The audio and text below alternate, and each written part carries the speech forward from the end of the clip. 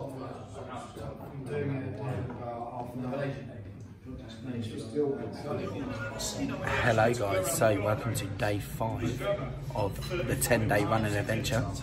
So, Hope Alive Tour is in full flow now and we're here at the night before we start.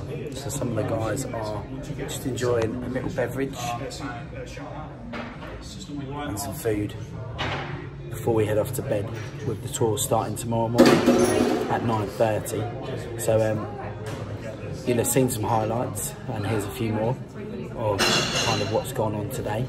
And um, hope you enjoy this. Hope you get to follow what's going on throughout the tour and we'll keep you up to date. Enjoy.